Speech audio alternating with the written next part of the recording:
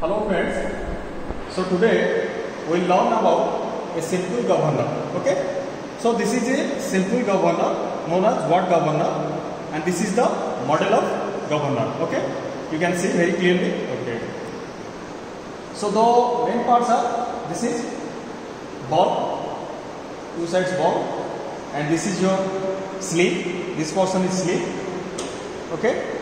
And this is your arm and here we consider the weight of this arm is negligible or we can we cannot put this in calculation okay so this is your uh, you can say this is a turbine or motor okay and this is your dc supply for uh, regulator to uh, control the speed okay and this is the technical specification of the governor okay so now here we have to calculate the centrifugal force of the governor.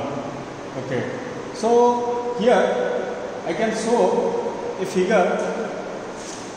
Okay. So this is the governor diagram. Here this is ball. This is ball and this side also a ball. And this is your arm. This part is known as pivot. This is topmost of the governor. This part is pivot and the bottom part is known as sleeve. And and the bottom part, part is known as sleeve. And the bottom part also directly connected to the your engine. That means your turbine or any motor which is rotate okay? So basically main function of the governor is when when the load decreases or increases according to requirement the fuel supply also decreases or, or increases according to speed that means to control the variation of the fuel, we can use the governor to govern the supply of the fuel to engine. That is the main function of the governor. Okay. So here to calculate the centrifugal force, you can see clearly this is centrifugal force to away from the center. The main function of centrifugal force is to away from the center or to or increase the uh, rotation of the radius of the rotation okay? So this ball having some weight and it will it will uh, its direction towards uh, bottom or towards down level towards down. And here you can see this is your radius. This is r and this length is radius. And this portion from this center line of the ball to pivot. This is height we, we here denote as a h okay? Now this part we draw here in a big size okay?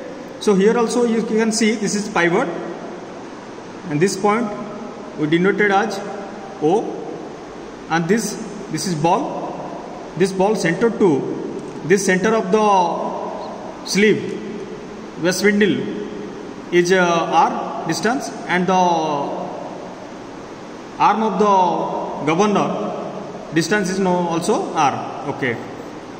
So now we know that capital w that means weight equal to m into g. Okay.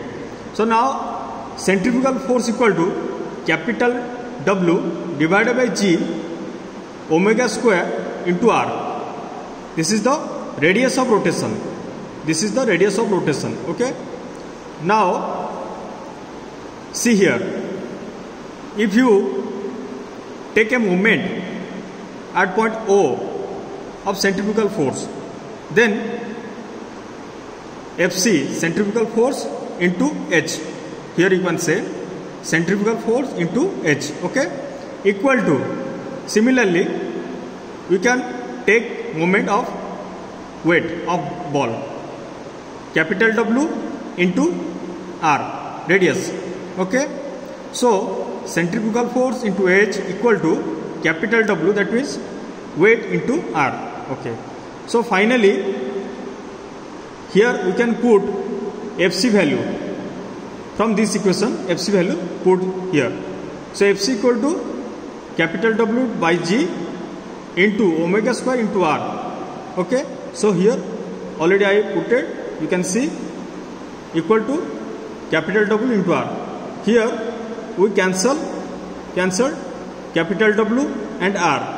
Finally, we got the relation H equal to G by omega square. Here we also write omega equal to 2 pi n by 60.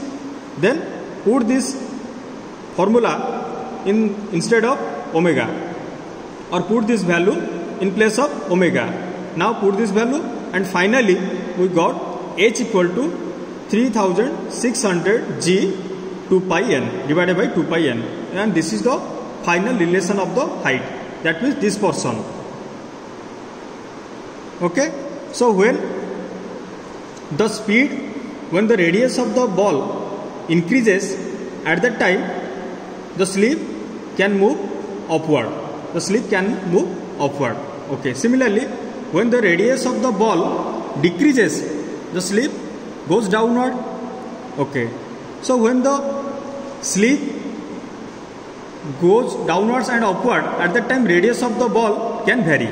Okay so now here one thing is that when the engine required or sorry when the engine uh, having some more load at that time the governor speed the governor speed decreases and that's why a bell crank mechanism also attached with the sleeve and that uh, govern to the throttle valve and that throttle, throttle valve to um, supply some additional fuel to engine so that load decreases and speed increases of the turbine or motor.